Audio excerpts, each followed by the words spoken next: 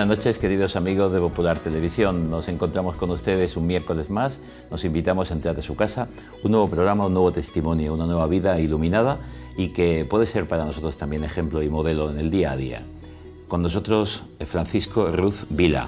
Hola, Unos apellidos que no son murcianos, porque aquí no son como muy comunes. no, no, no. El apellido Ruz creo que viene la parte de, Córdoba, hay, hay, muchos ruces, y Vila, pues valenciano, catalán, no sé exactamente muy bien de dónde. Porque tu lugar de origen es, Valencia. Valencia. Efectivamente. Paco, ¿te gusta que le llamemos Paco? Sí, dime. Eh, Paco es profesor eh, en la Universidad Politécnica de Cartagena. ¿Cuál es tu tarea allí concretamente? Bueno, yo soy profesor de máquinas eléctricas del grado de Tecnologías Industriales y actualmente soy el director del departamento. Entonces, la docencia que te imparto, pues básicamente es esta, mis máquinas eléctricas con mi teoría, mis prácticas, mis tutorías y toda esta relación. Y luego pues la gestión propia del departamento, que sabes qué es, pues arreglar laboratorios, atender a personas y toda esta cuestión. ¿Y, qué es más fácil, trabajar con máquinas o con personas? Con máquinas. Toda la máquina la enchufas y si no está estropeada se enciende, pero la persona es... Según cómo le encuentre el día. Efectivamente. De todas maneras, si ves en el otro siempre alguien con el que tienes que relacionar, a fin de cuentas, es es bonito y sencillo también. Hay que ir con, con, apertura, con humildad y ver en, el otro a esa persona que tienes que amar, a ese prójimo que tienes que amar. O sea que al final es otra forma de ver las cosas radicalmente distinta. Pero es más difícil porque es más difícil a veces mantener eh, el contacto. Es complicado, somos complicados los seres humanos. Sí, sí. Eh, comentaba yo hace poco en clase que ahí cambiamos, eh, antes íbamos en, en, en burros, Hoy vamos en el AVE, bueno, esperemos aquí también en esta región dentro de poco, y, o en un reactor eh, tremendo por los aires, pero sin embargo el corazón humano poco ha cambiado, sigue siendo necesitado de amor, siente odio, siente... Efectivamente, además es que lees cualquier libro eh, de historia, lees detenidamente la Biblia, lees eh, los Evangelios. Y te das cuenta que los problemas que había son los mismos que, que en el fondo tenemos hoy, o sea que realmente de corazón el hombre poco, poco ha cambiado, es lo que es, ¿no? y, y, ahí está su complejidad realmente, ver cómo conseguimos que eso no sea así, que cada vez vaya mejor. A ver si... Y esa es una de las cosas que te preocupan, ¿no? Porque actualmente estás trabajando mucho en ese sector que no tiene nada que ver con la maquinaria, con las máquinas. Es un sector que me preocupa mucho, porque fíjate, es que esto, esto es curioso, la vida es muy curiosa.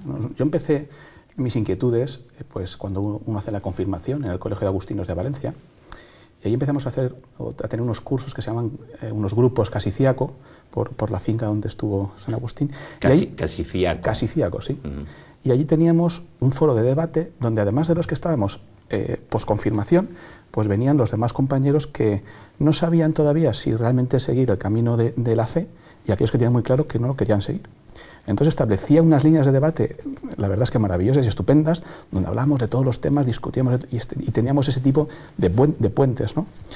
Y curiosamente, tras, este, eh, tras esta evolución personal y temporal, hace unos cuantos meses, a través de las redes de comunicación social, a las cuales me metí porque soy padre de un adolescente y tienes que, saber, tienes que saber dónde, dónde estás, me volví a encontrar con ellos con sus mismas posiciones. Entonces ahí empezamos también a establecer un diálogo para comprender, para ver lo que pasaba, por, qué cierta agresividad o por qué cierta incomprensión por mi lado o por el suyo. Entonces esas cosas la verdad es que me preocupan extraordinariamente, ¿no? porque todos vivimos en el mismo sitio y hay que entenderse. ¿no? Parece deprimente que, compartiendo las mismas necesidades humanas del amor, del afecto, y luego nos peleemos por, por minucias creo, entre comillas, minucias, porque a veces parecen importantes, pero no son fundamentales. Efectivamente, efectivamente. Lo que pasa es que, tenemos que aprender a separar lo que es lo importante de lo que es la paja. Yo le he comentado otro día a un compañero que la situación que hay ahora a veces es como cuando uno entra en una cocina y en vez de decir qué bien huele, voy a comer, dice quién ha cocinado.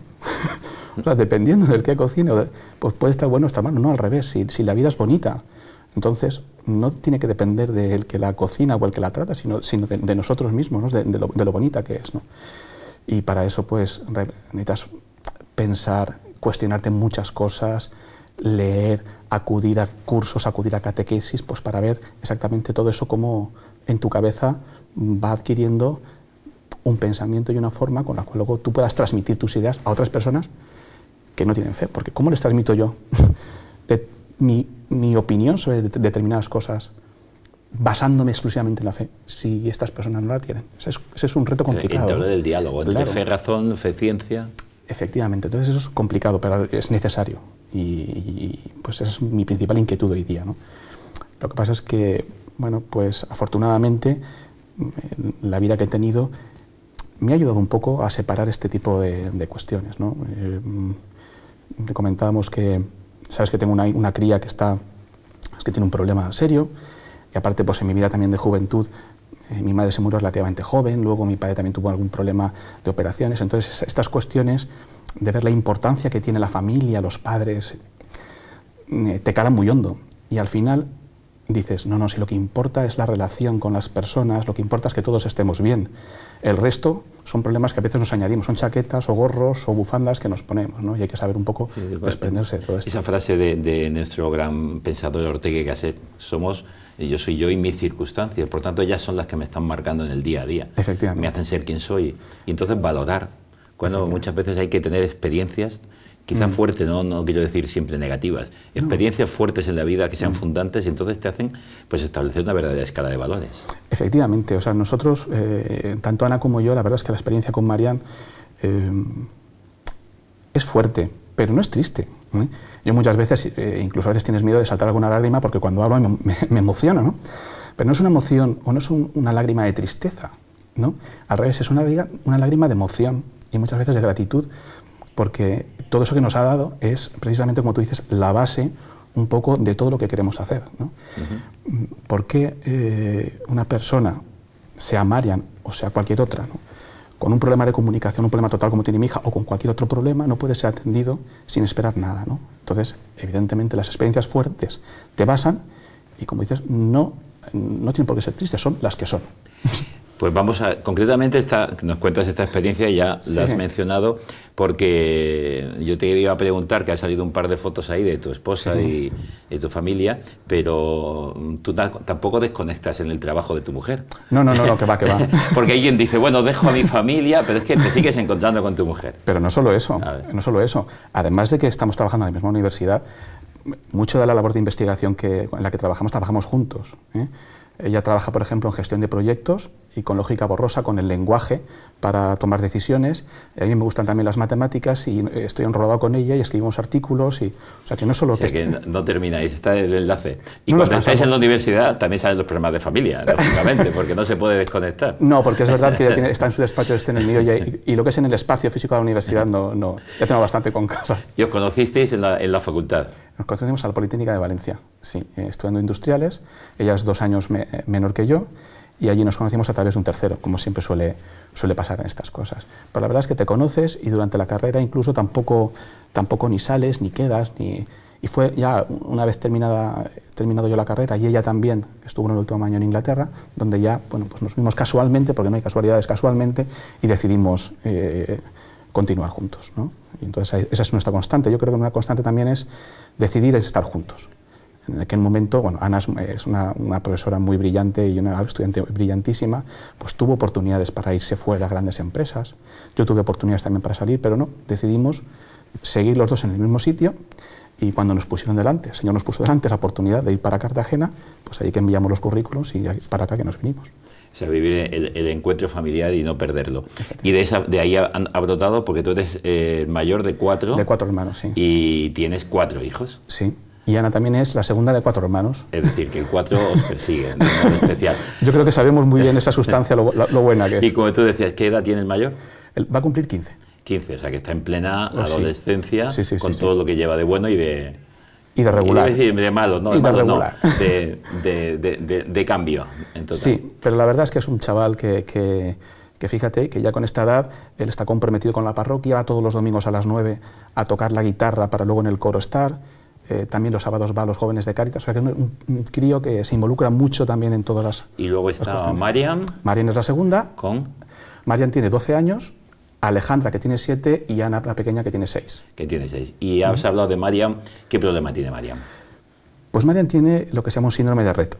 Es, eh, la verdad es que al final el nombre es igual. ¿no? Pero básicamente su evolución se paró y lo normal es que este, este síndrome se manifieste cuando tienes alguna habilidad adquirida y la vayas perdiendo, pero a ella realmente ya en, cuando tenía meses se vio que tenía un problema, con lo cual habilidad no tenía ninguna. Problema de desarrollo de todo tipo. Todo tipo. Por ejemplo, ella no anda, no gatea, por supuesto no habla, pero es que tampoco conoce. O sea, mm, eh, está limitada, pues, pues todo lo que se puede estar limitado realmente, porque es como un bebé de cuatro meses, pues ahora mismo tiene 12. 12. Hay que darle la comida pues, triturada, bueno, en papilla, todo, absolutamente todo. Bueno, pues desde mi punto de vista casi es el núcleo eh, de la familia porque todo gira, evidentemente, en torno a ella. Porque nosotros, pues no puedes ir alegremente a salir o lo que sea con todo el mundo porque ella tiene unos ritmos de vida que tienes que respetar. ¿no? Entonces, pues bueno, es, digamos que es un hito muy importante en nuestra vida, por supuesto nuestros, nuestros otros hijos son igual de importantes, ¿no? porque querer a todos por igual no es darle lo mismo, sino cada uno lo que necesita. Lo necesita en cada instante. Efectivamente, en cada instante, ¿no? pero es verdad que condiciona mucho y desde mi punto de vista nos condiciona para bien. ¿no? Yo creo que no hay más que ver, por ejemplo, la actitud de mis hijas o de mi hijo respecto de ella, o la de toda la gente que la rodea, para ver que realmente hace mucho bien ella, ¿no? O sea, que es una vida... Esa es una pregunta que te iba, a preguntar, porque estamos en una sociedad tan utilitarista y tan materialista que dicen, ¿y una vida así para qué sirve? Y estás diciendo que es el contrario. Efectivamente, mira, yo una de las preguntas que siempre me he hecho es, ¿para qué estamos aquí? ¿No? Y yo no sabía, yo no sabía responder para qué, para qué estaba aquí. Pero claro, llega un momento en el que la ves a ella y dices, ella es una persona y tiene que tener una función en esta vida. Y al final dices, no, no, es que todos estamos aquí para lo mismo, que es para hacer que este mundo sea mejor, para que lo que nos rodea mejore en la medida de nuestras posibilidades, de nuestros talentos. ¿no? ella es eficaz ¿eh? para estas cuestiones. Ella tiene un talento brutal. O sea, eh, todo el que se acerca a ella se inunda de ternura. O sea, es que es, Hace sacar lo mejor que tenemos como seres humanos. Claro, o sea que, que, por supuesto que una vida, que cualquier vida tiene la misma utilidad. O sea, para mejorar lo presente, lo que hay. ¿no? Entonces, yo a través suyo he llegado a la respuesta, he encontrado la respuesta a esa pregunta que yo me hacía. ¿no? De, Hasta tu propio, para tu propia vida. Claro, claro, para mí. Yo estaba buscando esa respuesta. Hasta que, evidentemente, día tras día, noche tras noche y año tras año, pues llegas a la conclusión y dices, no, no, si está más claro que el agua, si está más claro que el agua, si todos estamos aquí para hacer esto mejor. Y ella también.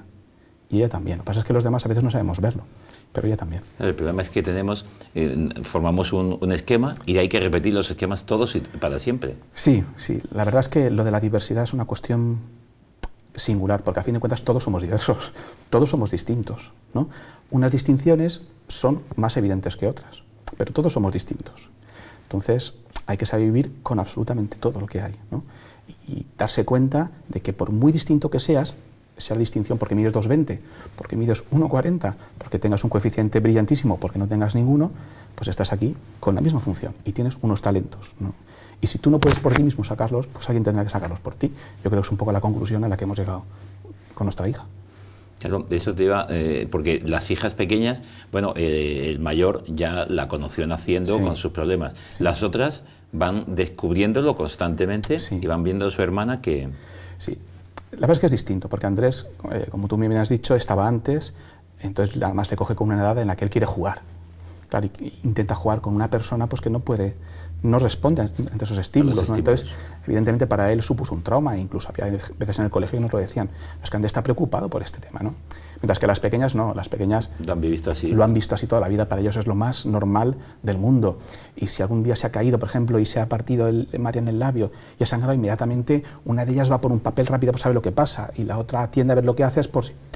Evidentemente les cambia la vida, para mejor, desde mi punto de vista. ¿no? Es duro, ¿de acuerdo? Porque es verdad que estas cuestiones son duras, no, no nos vamos a engañar, pero es que la vida es, es, es como es. ¿Os supuso a nivel de fe un replanteamiento, una madurez, un enfrentamiento a veces, porque es verdad que tenemos a veces un pequeño de rebeldía. No. ¿Cómo fue la reacción? Personalmente no. La verdad es que no supuso, por ejemplo, ninguna reacción contraria, ¿no? al revés. También es verdad que, como te he comentado, ya había tenido algunas experiencias de, de dolor o de dureza en este aspecto, ¿no? y quizás esa crisis ya la había pasado un poco más joven. No, al final dices, es como es. Nos dijeron, el, un neuropediatra nos comentó, esto es una lotería y os ha tocado. Entonces en aquel momento yo digo, pues mira, si nos ha tocado, pues bendito sea Dios, porque en mi casa por lo menos puede. Está bien, no tenemos problemas económicos, pues tenemos, eh, cierta, tenemos ciertos valores que queremos transmitir y ella puede estar más o menos, más o menos cómoda. Ahora digo, qué suerte. Sea, digamos que las cosas han cambiado. No, antes yo pensaba que podía ser una ayuda para ella y ahora estoy viendo que realmente ella es una ayuda para nosotros. Para plantear lo, lo que verdaderamente vale en la vida. Efectivamente. ¿Y entonces cómo ha sido tu tarea de, cercanía a la iglesia desde aquel grupo agustino de confirmación? Sí. En la, universidad luego pierdes algo, lo reencuentras de otro modo. No es que pierdas algo en la universidad, es que la universidad, eh, pues industriales ayer una carrera dura y lo que haces es estudiar, que es, tu trabajo, ¿no? Y mis padres, pues sí, nos, nos seguían educando, nosotros, yo seguía asistiendo a las Eucaristías, pero no te sigues enrolando en determinadas actividades porque el día a día pues te, eh, pues te va comiendo. ¿no? Luego, cuando ya cuando terminé la carrera y pasó históricamente el hecho de que murió mi madre y los problemas de mi padre, pues ahí también vives un día a día, pero porque piensas, tengo cuatro, tres hermanos pequeños, ¿qué va a pasar? No es, es, otro, es otro fregado. Pero ahí fue cuando llegó mi mujer, cuando llegó Ana, y digamos que ahí, pues ella digamos que me arrastró, me arrastró un poco más y me dijo, bueno, venga, esto es así, pero hay más cosas y digamos que aunque nunca me había separado, sí que digamos que había estado prioridad a otras, a otras cuestiones ¿no? y, a, través de ella pues vuelves a enganchar. Eh, cuando terminamos el cursillo de novios, eh, desde el Movimiento Familiar Cristiano nos comentaron de hacer otras, otras jornadas, nos honramos en, en el Movimiento Familiar Cristiano. ¿Ya en Cartagena? Ya en Cartagena. A partir de ahí, pues bueno, no es que no encajara la idea o no, sino que teníamos críos y es un movimiento muy matrimonialista y con los críos pues a veces es muy complicado y bueno, es la vida, ¿no? Te invitan a unas catequesis, vas a unas catequesis, vas a otras y nos seguimos formando y luego ya empezamos a entrar en la parroquia y, a, entrar también en, conexión con el, con el movimiento de los focolares, que es donde estamos un poco ahora un poco ahora ligados. ¿no? Sí, que de algún modo mm, casi toda tu vida ha sido una vida familiar. Sí, sí, sí. Cursillos prematrimoniales, eh, habéis mm. colaborado también en algo, eh, luego movimiento familiar, luego ahora focolares. La verdad es que colaboramos, pero de forma puntual porque la circunstancia que tenemos nos impide tener un planning y una, programación, y una programación con la que poder cumplir realmente, ¿no? Es difícil. Ahora, allí donde nos llaman, allí que vamos. Si hay que dar una conferencia o una charla precisamente para hablar del tema de la discapacidad, pues a chavales que están en, confirmación, pues vamos. Ahora, por ejemplo, estamos organizando un curso con la, con la pastora universitaria sobre esperanza y crisis, pues vamos a unas, unas conferencias y también colaboramos. En la parroquia, si hay puntual, colaboramos. Lo que pasa es que siempre desde ese punto de vista. Son cosas puntuales que nos permiten en un momento determinado uno de los dos permanecer en un sitio, otro estar en el otro e ir intercambiando este tipo de... Sí, pero no es caminar juntos, sí. pero bueno, caminar juntos la fe es fácil en el sentido sacramental y, mínimo, pero luego colaborar pues en la medida que podéis que se puede. en, cada, instante. Cuéntanos algo con focolares, ¿qué hacéis? ¿Cómo hacéis?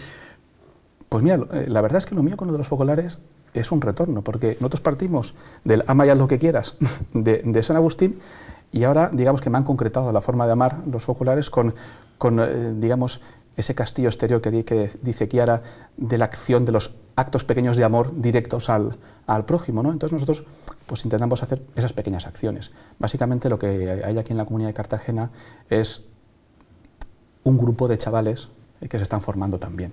Realmente nosotros luego somos pocos, ¿no? pero sí que es verdad que todos tenemos bastantes hijos y, tenemos amigos y nos preocupa mucho ahora mismo esta formación. Que, casi es los hijos los que os han llevado. no, no, casi no. Son los hijos los que nos han llevado. ¿no?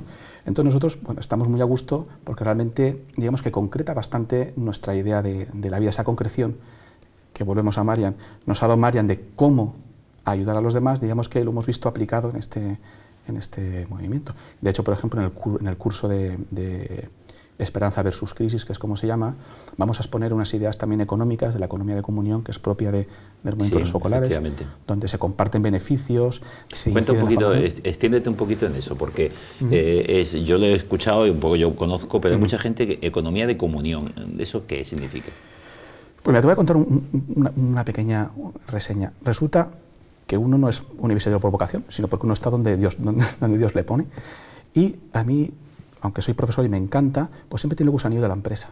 Y hace cuatro años, entre solo y montamos una empresa. Y entonces yo veía que decía, yo es que quiero un poquito más, quiero que esto crezca para que se beneficie más gente.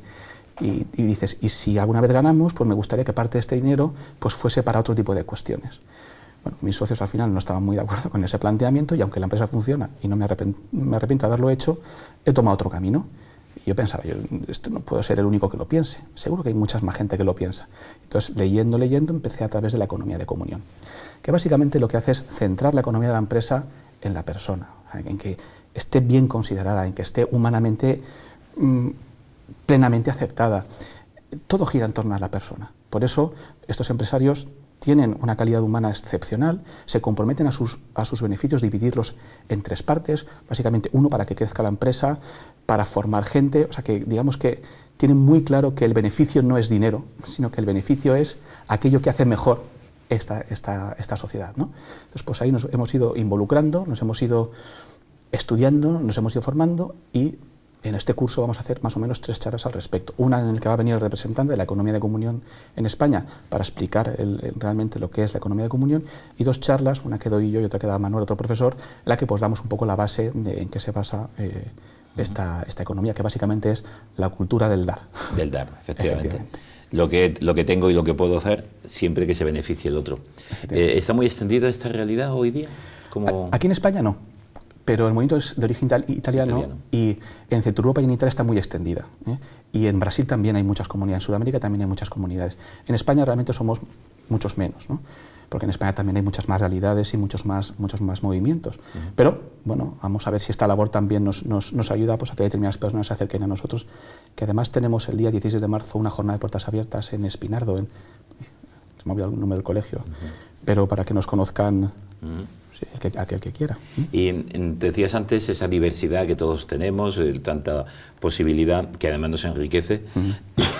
y tú has vivido, pues una, habéis vivido, lo has dicho un poco de pasada, pero es importante entenderlo, que habéis estado abiertos a cualquier catequesis, cualquier grupo que os pudiera aportar algo para vuestra vida, ¿no? Efectivamente, vamos a ver, todo aquel que ha venido de corazón a decirnos, mira, tenemos esta catequesis, pues hemos ido porque nos interesa, porque nos interesa conocer, porque todo el mundo que te ofrece esas, esas, esas oportunidades piensa que te está haciendo un bien. Entonces, pues eh, otros amigos nos invitaron a las catequesis del Camino Catecumenal, pues fuimos a, conocerlo. Pues gente también de la familia Ana está, dentro de, la obra del Opus Dei, pues hemos ido también a... Porque, jolín, es muy bonito hacer estas cuestiones. Si la gente te lo plantea bien y te lo plantea de corazón, se aprende de todo el mundo. Y también hemos ido a foros de no católicos y de no cristianos, porque eh, yo estaba hasta, hasta en la Junta de PDI por comisiones obreras porque la gente que me lo pidió, yo veía que tenía también eh, unos, unos fundamentos. Entonces, yo creo que esa es una constante también. No hemos perdido esa, eh, esa capacidad de ver que una persona te está ofreciendo algo que realmente le importa y le interesa. ¿no? Es que así es cuando se puede entrar en diálogo con alguien, cuando hay sinceridad y, Claro, además hay, que, hay que aprender de todo el mundo, hay que aprender de todo el mundo y esa, y esa esa cultura que coges de, analizar o, de ver distintas, distintos matices o distintos enfoques de ver un mismo problema, yo creo que te enriquece, que te enriquece mucho. ¿no? Y, por ejemplo, el movimiento de los focolares también es un movimiento que tiende mucho hacia esa, hacia esa cultura del ecumenismo, no solo con, la, con las otras eh, confesiones. sino con, con personas pues, que, que no, no, creen o son budistas. O, el otro día, viendo una conexión o un reportaje, veíamos que hay determinados centros por allí, por, pues que lo llevan budistas. y en Turquía, pues que lo llevaban personas musulmanes, protestantes. O sea que, claro, y si todo el mundo va con buen corazón, eh, la cosa sale perfectamente, o debe salir perfectamente, porque para eso está Dios. Efectivamente. Y entonces en el día a día, en casa, ¿cómo, cómo oráis con los hijos? Bueno. ¿Hay, hay momentos? Sí, sí, sí. Siempre por la noche hay un momento. Porque la noche es el momento un poco más tranquilo. ¿eh? Nosotros en nuestra casa a veces parece un, cuartel. Nos levantamos a las seis y media de la mañana, hacemos las comidas, los duchamos, van al colegio, comen. Entonces es el momento de, acostarse, que hemos conseguido que se acuesten pronto, donde todavía tenemos un ratito pues, para estar con ellos orando, rezando. Y... Pero bueno, la verdad es que hacemos mucho hincapié en ellos, y no solo ya en la cuestión del rezar, sino que, por ejemplo, en la parroquia están perfectísimamente integradas. O sea, el su edad, en sus niveles. En su sitio, en sus niveles, pero además dice, no es que se mueven con todos los feligreses o hablan con de una forma que parece que sea realmente su casa, ¿no? Al final es lo, también lo que tienes que conseguir, que cuando están en, la iglesia, en el templo, pues lo consideren como un sitio habitual para, para ellas ¿no? o, para, o para ellos. Yo creo que es una cuestión pues, que también eh, lo valoro muchísimo porque la verdad es que a veces te emocionas de, de verlas y, de, y, ¿no? de cómo se desenvuelven. Es importante, esa, esa, no has dicho definición, pero casi, es mi hogar, en mi casa, es donde me, me desenvuelvo. Claro. Claro, donde claro. comparto aquello que para mí es fundamental, que es mi fe y una creencia en una vida eterna. Efectivamente. Eh, has hablado de este curso Esperanza versus Crisis. Uh -huh. eh, ¿Cómo ves esta realidad de hoy día en España, en nuestra realidad? ¿Más hacia la crisis, más hacia la esperanza? Mira. ¿Y, y, y por dónde poner esa esperanza? Que además el, nuestro obispo nos ha llamado en este año a vivir el año de la esperanza. De la esperanza. Es muy complicado. Mm. Bueno, hay mucha gente que dice que estamos saliendo de la crisis, hay gente que dice que en absoluto. Yo tengo una visión un poco particular que no sé, no sé dónde la he sacado. Yo creo que no se van a arreglar mucho las cosas. Creo que va a haber gente, va a haber trabajo, estará peor remunerado, se van a ampliar las diferencias, pero el problema de base va a seguir estando. El problema de base es que no nos ocupamos de los demás. que estamos pensando exclusivamente en nuestro propio beneficio, en cómo sacar más dinero o en cómo trabajar menos y nos pagan poco. ¿no? Yo creo que ese es un gran problema que tenemos. Yo creo que entre todos tenemos que pensar que casi independientemente del político que gobierne, hay que buscarse las mañas para que esto funcione. Si yo tengo un negocio y puedo ayudar al lado, pues tendré que ayudarle. Si ese mejora y puede ayudar a otro, pues tendrá que ir haciendo. Esa sociedad civil se tiene que incardinar de alguna forma. ¿eh? Porque lo que está claro es que cambiar las estructuras hacia los brutos es extremadamente complicado. Y si no cambian, a largo plazo se repetirán las cosas. Estabas casi hablando de la primera comunidad cristiana, ¿no? pues sí. Pues sí. Es que, a fin de cuentas, como comentábamos, empezar poco a poco en un núcleo es más sencillo porque la acción la tienes inmediatamente. Claro, es, conoces al que está al lado, ves su, ves su, necesidad. Efectivamente. Entonces, quizás ahora lo que tenemos es que hacer es tender puentes, ¿no? Pero no para que el otro venga, sino para nosotros ir avanzando para allá, ¿no? Porque yo creo que, como te comentaba antes, a veces pensamos en quién ha hecho este guiso o quién ha hecho esta política, ¿no? cuando no tiene que ser así. Tenemos que establecer un puente, cruzarlo, ponernos en el medio de los dos, hablar tranquilamente y entonces seguramente nos entenderemos muchísimo, muchísimo mejor, ¿no? Y creo que, que, que, es, que es fundamental, y así saldremos. ¿eh? Yo creo que es la, la única esperanza que tenemos es que nos demos cuenta que realmente con nuestra acción hacia el otro es como se van a mejorar las cosas, y cada uno que lo haga en su entorno. Cuanto más responsabilidad tenga, a más alcanzará. Hemos empezado hablando de las máquinas eh, uh -huh. en tu trabajo día a día en la universidad y con, con los alumnos uh -huh. y, y, cómo se puede vivir la fe en el, en, en, con ellos o no se vive y hay un, como una separación vida, trabajo y luego la, la realidad interna de fe. No hay separación, o sea, yo creo que no hay separación. Eso no quiere decir que yo cuando esté explicando mis máquinas mm, pues exponga mi fe. No, lo que pasa es que lo que tengo que hacer es que la persona que está enfrente mía vea pues, que tengo gusto por el trabajo, que me esfuerzo porque él aprenda, que si tiene un problema yo lo atiendo. No quiere decir que no sea estricto, porque realmente pues, puedo ser más o menos estricto, ¿no? pero él tiene que ver que tengo un comportamiento que, desde luego, desde el punto de vista de profesional, es, es bueno, es coherente y no tiene, por así decirlo, aristas, ¿no? de, de, de, es que, de dobleces. De dobleces, efectivamente. Entonces así es como proyectas realmente. Y luego eh, encuentras alumnos que vienen y te plantean alguna cuestión, algún problema, y, y, cuando respondes dices, mira, pues no pensaba que esto fuera así. Recuerdo una vez, hace ya bastante tiempo, que tuvimos un alumno proyectando fin de carrera, a la que, al que le decíamos que, que, que, que tenía una beca, pero que tenía que darnos el dinero para la beca, pues no nos lo daba. Entonces él pensaba que igual no le íbamos a pagar. Y cuando tuvimos todo el dinero y se lo pagamos de golpe, se quedó como diciendo, pues si creía que me habíais engañado. Pero no era así, ¿no? Entonces tiene que ser a través de ese tipo de cuestiones, ¿no? Como realmente proyectes lo que eres y luego si te preguntan de dónde te, de dónde te viene ese cómo Ahí, eres, entonces ese es el momento de, ese es el de momento expresar. de expresar. Ahí hay los dos papas eh, últimos, Benedicto XVI en Deus Caridad nos dice que, que el que ejerce la caridad lo decía a gente de caridad, debe saber cuándo es momento de hablar de Dios y cuándo dejar que solo hable el amor. Efectivamente. Y, y Francisco ahora repetía una frase en Asís, a los jóvenes les decía algo de San Francisco. Uh -huh. Dice que todo es, siempre es momento de evangelizar, dice, y a veces hasta con palabras. sí, y además es, es también, pues, a Dios lo que es de Dios, al César lo que es del César. O sea, que, que, hay momentos para todo, para pagar impuestos, y hay momentos para expresarse bien y, y, y, realmente intentar que el otro comprenda esa realidad. ¿Eres feliz? Sí, sí, plenamente. ¿Con la realidad familiar, con la realidad matrimonial, con la realidad...? Por supuesto, por supuesto. Y, y es más, O sea, a mí me gustaría transmitir que esa felicidad me viene por todo, pero sobre todo por aquellas cosas que te marcan y que a veces son duras. ¿no? Entonces la felicidad yo la tengo por mi matrimonio, la tengo por mis hijos. Y eso cuesta mantenerlo y cuesta trabajo hacerlo y hay que luchar mucho por ello.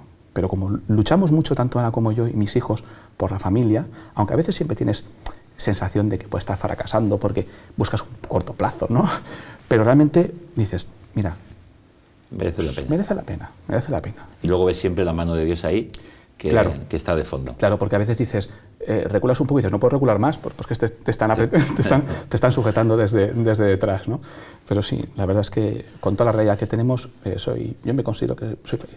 Merece la pena vivir en una parroquia, merece la pena trabajar en ella y merece la pena dar la vida. Sí, porque además en la parroquia también es un sitio donde encuentras acciones para hacer bien, el bien las que quieras. Yo creo que una de las principales dificultades que tenemos es que no sabemos cómo focalizar esa acción que queremos, que queremos transmitir.